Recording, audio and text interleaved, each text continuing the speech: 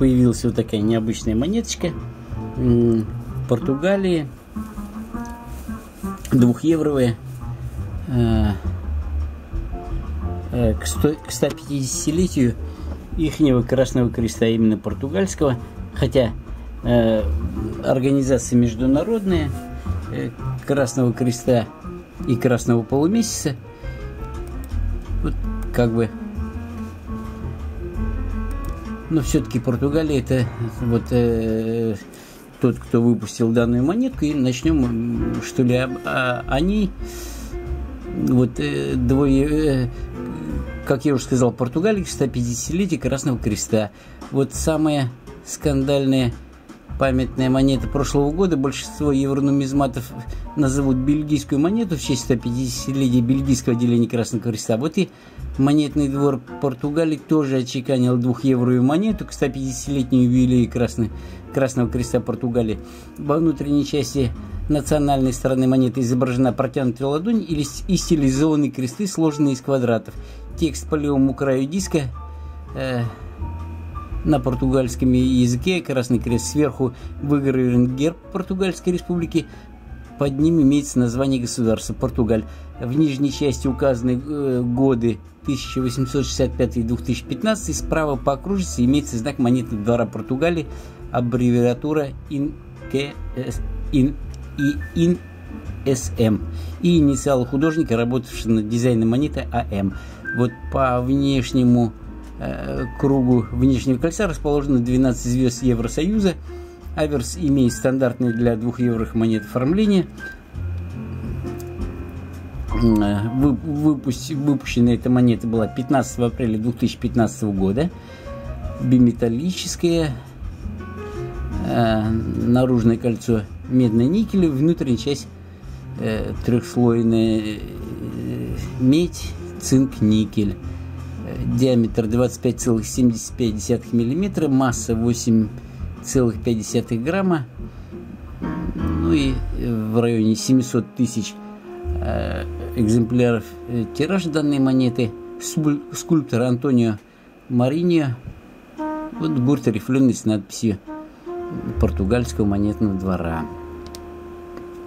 Вообще Красный Крест Португалии был создан по инициативе военного врача Жозе Антонио Маркеса, именно он в августе 1864 года представлял короля Людвига I на международной конференции, в ходе которой была подписана Женевская конвенция об улучшении участи раненых в армии в поле. Вернувшись в Португалию, Жозе Антонио Маркес организовал 11 февраля 1865 года португальский комитет помощи раненым и больным военных во время войны. Первое обозначение португальского Красного Креста 13 июля 1887 года состоялось признание португальского общества Международным комитетом Красного Креста. На протяжении всей своей истории Красный Крест Португалии оказывал помощь людям во всех крупных войнах и стихийных бедствиях, в которых была вовлечена Португалия. Она также представляла международную помощь за рубежом. Вот с момента своего основания Красный Крест Португалии помогал жертвам различных военных конфликтов, в том числе революционные движения в Португалии, гражданская война в Испании, Первая и Вторая мировые войны.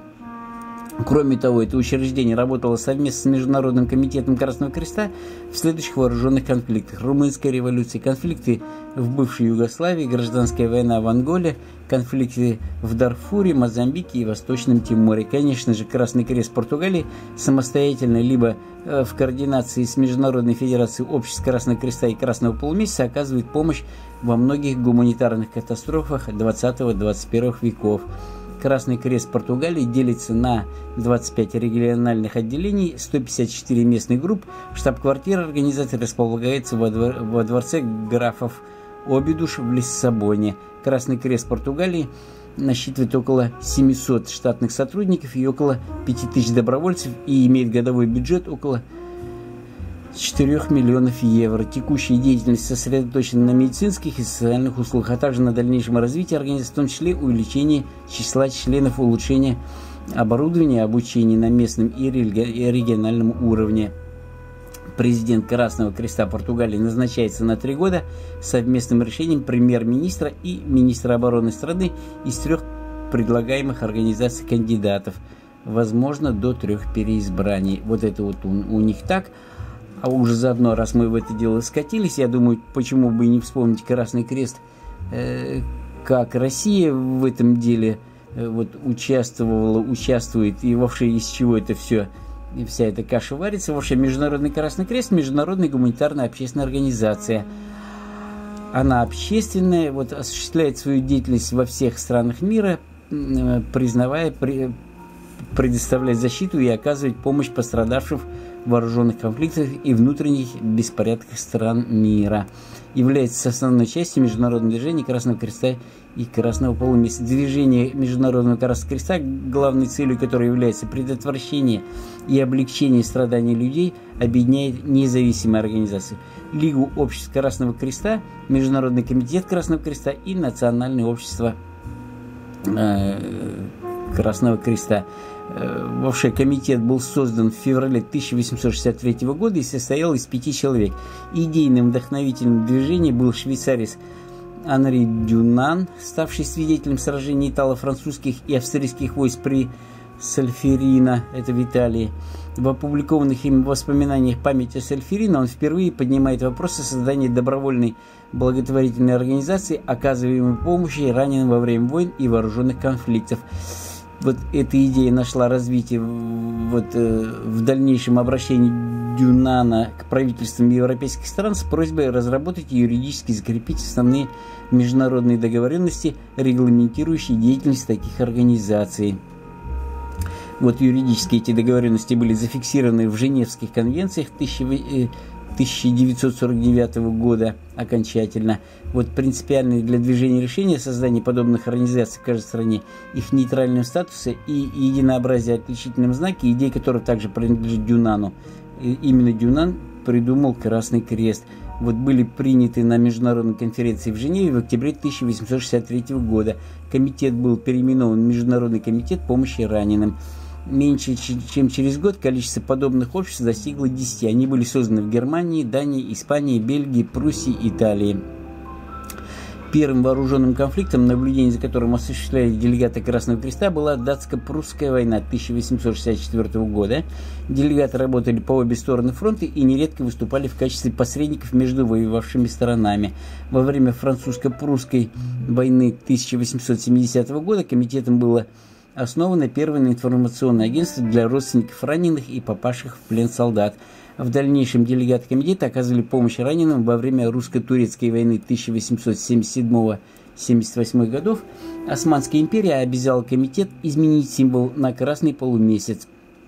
Вот сербско-болгарские войны 1885-86 годов, Балканская война 1912-13 года, Первой мировой войны во время которой комитет безуспешно пытался заставить конфликтующие стороны отказаться от использования химического оружия.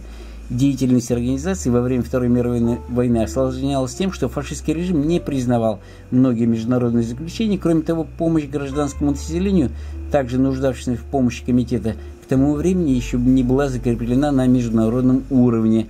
Вот подписание в 1949 Женевской конвенции о защите жертв войны значительно расширил сферу деятельности Красного Креста в области помощи гражданскому населению, военнопленным и заключенным.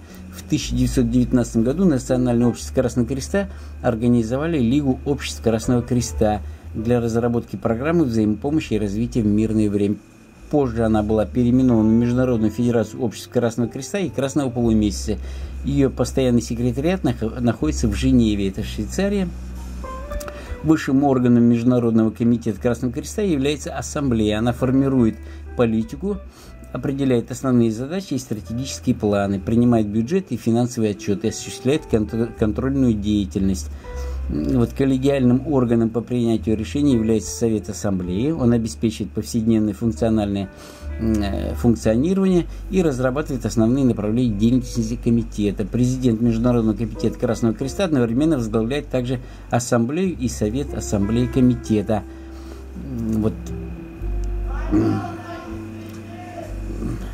Движение Красного Креста трижды было удостоено Нобелевской премии мира в 1917, 1945 и в 1963 годах. А вот э, Российское общество Красного Креста было основано 3 мая 1867 года под покровительством императрицы Марии Александровны, жены императора Александра II. Вот как российское общество попечения о больных и раненых воинах. В 1879 году оно было переименовано в Российское общество Красного Креста. Его первым шагом на международной арене стало оказание помощи раненым во время франко-прусской войны, во время русско-турецкой войны 1877 года. Вот также они взяли на себя практически всю медицинскую помощь армии, организации лазаретов, санитарных поездов, перевязочных пунктов и так далее. С 1872 года Красный Крест России начал оказывать помощь гражданскому населению, пострадавшему при стихийных бедствиях, землетрясениях, пожары, наводнения, эпидемии, голод и так далее. С 1882 года мирному гражданскому населению бесплатное лечение, обучение ремеслам, строительство детских приютов и так далее. В 1899 году в Санкт-Петербурге создан комитет по подаче скорой помощи пострадавшим от несчастных случаев и общественных бедствий вот его станции первой помощи стали прообразом будущей службы скорой помощи. В 1904 году российский, Российское общество Красного Креста открывает Центральное справочное бюро о военнопленных. В 1823 году после подписания председателями национальных обществ Красного Креста России, Украины, Белоруссии, Армении, Грузии, Красного полумесяца Азербайджана декларации об объединении был создан Союз обществ Красного Креста и Красного полумесяца СССР.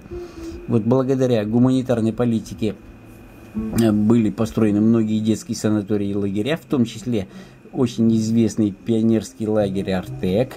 Положено начало санитарной авиации. В 1925 году создано движение безвозмездных доноров и служба патронажных медицинских сестер – и так далее. Во время Второй мировой э, войны Российский Красный Крест готовил медицинский персонал для работы на фронте, шефствовали над госпиталями и детскими домами, собирали продукты для эвакуированных, шили белье, организовывали санитарно-эпидемиологические отряды для работы на освобожденных районах Украины, Беларуси, Молдавии и так далее.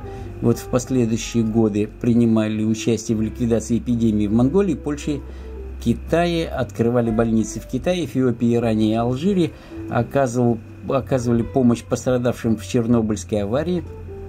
В 1990 году была основана спасательная служба э, Российского общества Красного Креста. Ее первый отряд из добровольцев был сформирован в 1989 Поводом для этого послужило землетрясение в Армении 1988 года, с 1999 Российское общество Красного Креста оказывает помощь вынужденным мигрантам из районов военных действий Северный Кавказ и стихийных бедствий Якутия, Восточная Сибирь, Краснодарский край и так далее.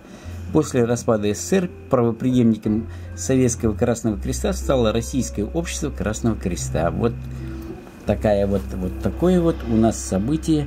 Как бы начали с Португалии, закончили с Россией, что вполне естественно как бы хотелось бы российские дела тоже осветить в этом вопросе.